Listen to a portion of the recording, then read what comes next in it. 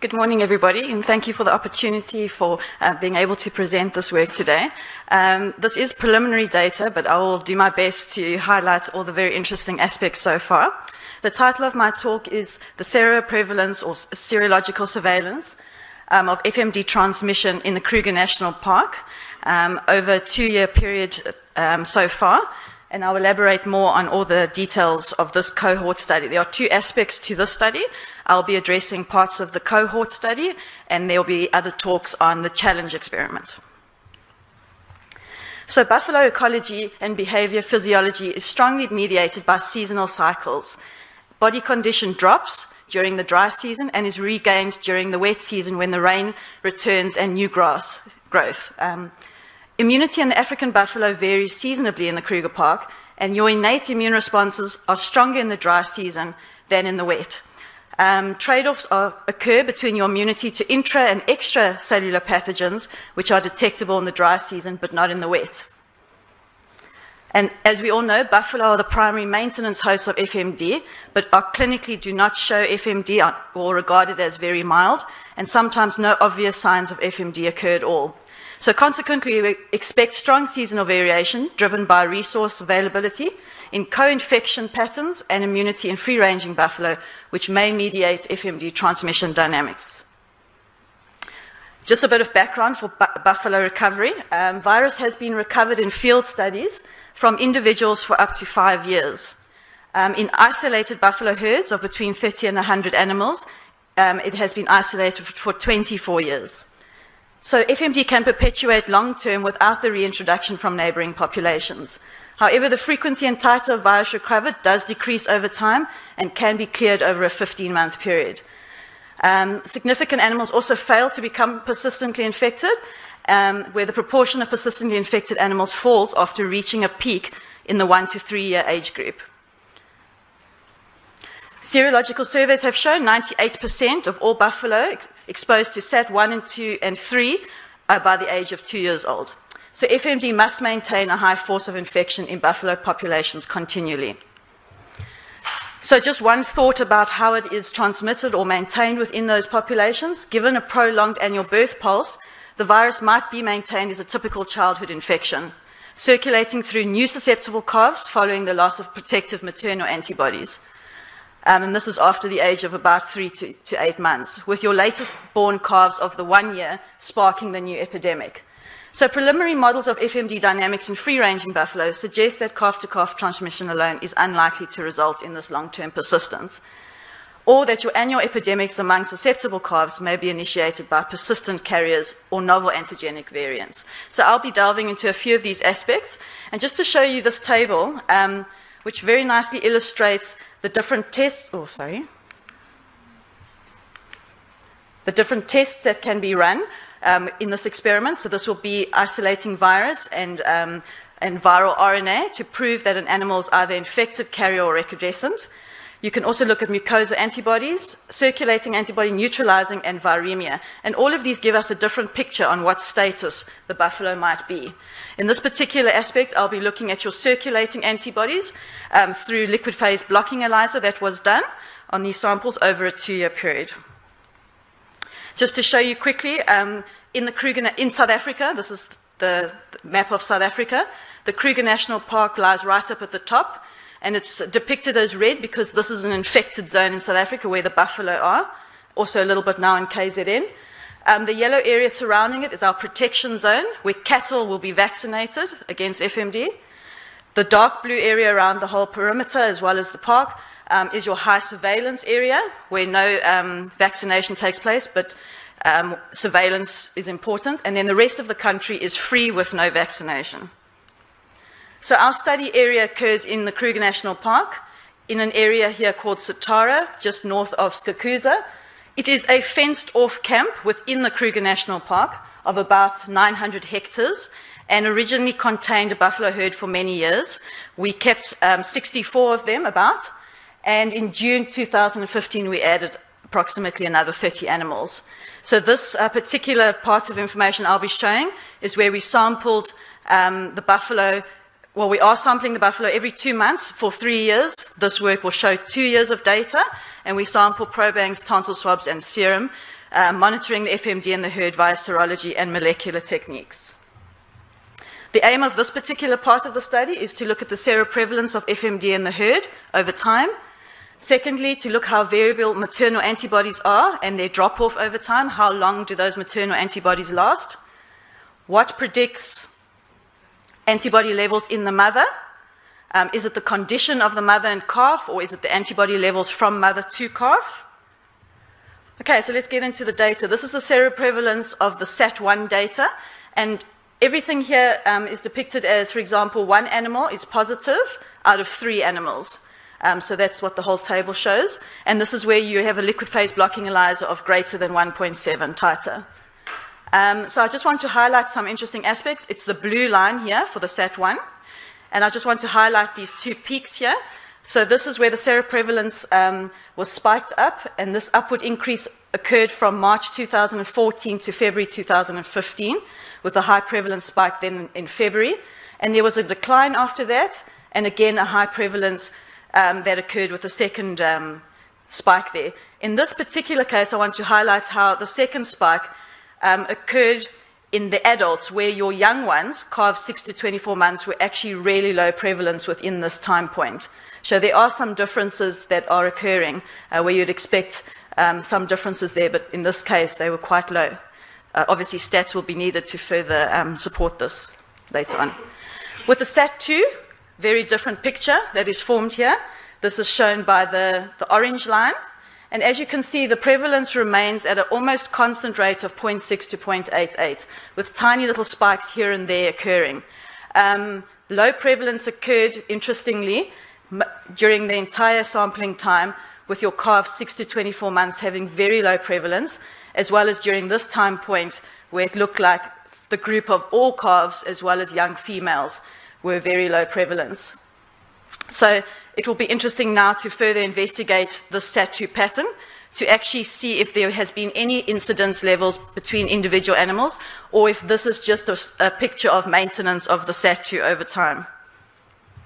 The seroprevalence for the SAT3 virus was almost very, very similar to what occurred for the SAT1 pattern, where you have these ups and downs. Um, however, with the SAT3, you always have a lower prevalence in general compared to the other two. Um, so possibly this is sustained through low-level transmission, or there could be possibilities of maybe competition between SAT1 and SAT2, as we found in other, uh, other studies. So this remains um, to be investigated further, but so far very interesting patterns. Oops. So I just want to highlight five animals that I drew from the data. Um, this is not a complete picture of what is happening, but just to show you how we will now be progressing onto looking at individual incidence levels. So I want to highlight, for example, this uh, yellow color one. This is a calf that's in the beginning was only um, very young, below six months old. And this red star here shows the maternal antibodies that were obviously elevated at this point, and then they dropped off. And so this blue star here could be a, an example of the first incidence of infection that this animal had. Um, and again, if you look at something like this pinkier color one, this one shows where it dropped off. This is a bit of a much older animal, a 15 year old animal, so this is not maternal antibodies here. But anyway, there's a spike there and there's a spike there. So this, and this is all above the 1.6 threshold of what we call a positive. So this could be indicative of uh, two incidences. Um, but it will remain to be seen through sequencing and through uh, other testing. Is this the same type of virus? Uh, where it's just waning antibodies and therefore getting infected again or recrudescence, or is this actually a novel antigenic variant that has occurred here? Um, similarly, you can see with other um, examples here how you have a different pattern where, for example, this grey one, there's some sort of an incidence up here, possibly, and then it's just sustained all the way through. So just some examples to highlight how we will now have to investigate individual animals. Okay, so now moving on to how variable are your maternal antibodies with time. We looked at the SAT1, 2, and 3, and generally through this one can make a deduction that your age-specific maternal antibodies for each calf are mostly around the age of 5 to 7 months. As you can see, the drop-off occurring at this time interval mostly. There are some with exceptions, which are a little bit shorter, and some that are even longer. So it is probably quite variable amongst calves. And then we linked this to um, the potential correlation between maternal antibody titers of the calf together with the mother's titer for that exact serotype. So we want to try and make the correlation. If your mother has a high maternal, uh, sorry, antibodies for a certain set, is that the same correlation to a high um, antibody, maternal antibody titer? So we, we did this um, comparison, and what we did here was we looked at the mother's SAT1 titer with the, the exact calf of hers, SAT titer, and we cross checked that with basically SAT1 for the calf and SAT2 for the mother, so that shouldn't correlate, um, and that was our, almost our negative controls. So this data reflects that there is a significant that there is a significant. Oh, it's one back. Um, this this basically shows a significant correlation between the mother's SAT1 titer and the calf SAT1 titer, as depicted there. However, this analysis was done, which is not shown, also between your SAT2 and SAT2 of calf and mother and SAT3, and it did not show a correlation for those.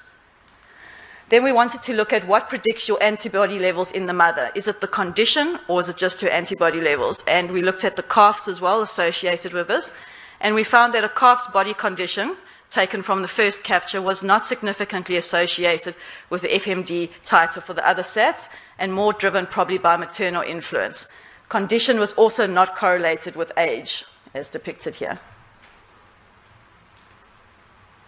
Just some pictures to show the work that we're doing um, in the bush. We use the helicopter for SANParks to do some of the um, darting, liquid nitrogen tanks in the field, quite a challenging um, thing, all of this. And I'm sure Anna will show maybe some more information about the data that we record through contacts and the weighing of the buffalo, so just some interesting pictures. Okay, so in conclusion, uh, we looked at the seroprevalence, and the SAT1 fluctuates with peaks um, occurring.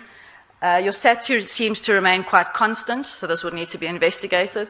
Uh, your SAT3 remains low, but still shows the same pattern as SAT1.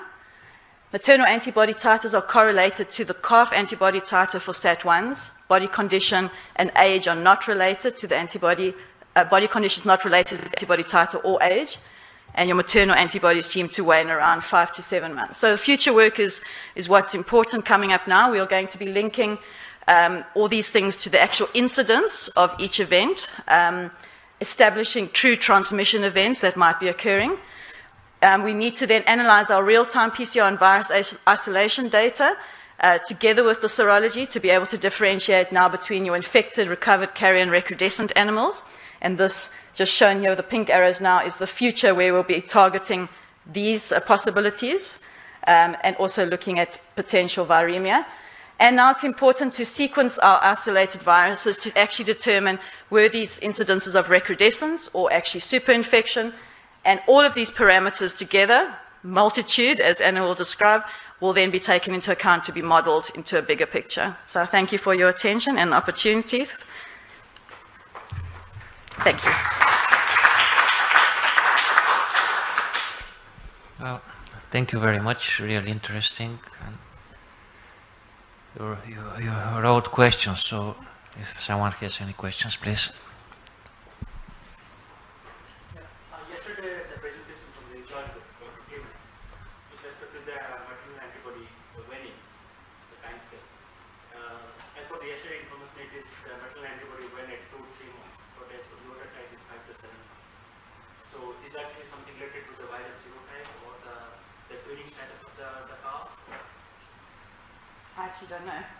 Um, yeah, it's just what we're finding with the buffalo. This is a herd, obviously, that we are, um, we've concentrated our studies on over time.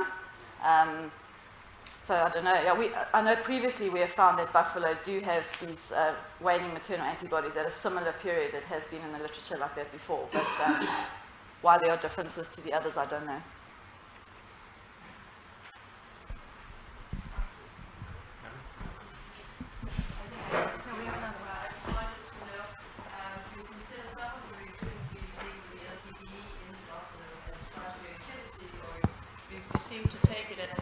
Of infection that when the SAT1 and the SAT3 go up at the same time, uh, would you consider that part of that was cross-reactivity? Cross-reactivity to the other SAT or to... To the other SAT? It is possible, yes. yes okay. And that's why we've tried to look at the very high titers and try to kind of um, be careful about looking at the, the sort of 1 to 1.6 to 1.9 range of animals that are reacting to that. But yes, it is something we will need to, to check. Difficult to, but, but I think the sequencing and the virus isolation will help with a lot of those. Other questions? Thanks, Catherine. Uh, very interesting. Um, I'd, I'd, just like to make a comment about one of your presumptions based on the paper by Condy and Hedger many years ago, showing that uh, vi- the virus persisted in an isolated population for 24 years. I think one must take that one with a pinch of salt because um, I happen to have visited that uh, isolated population, which was on an island in Kariba known as 117. And what I noticed immediately was that the border of that island was very close to the shore of the, of the main lake. And John Condy, he was showing me the, the setup, explained to me that buffalo don't swim. And uh, we now know that's not true. Thanks for that. Take note. Thank you.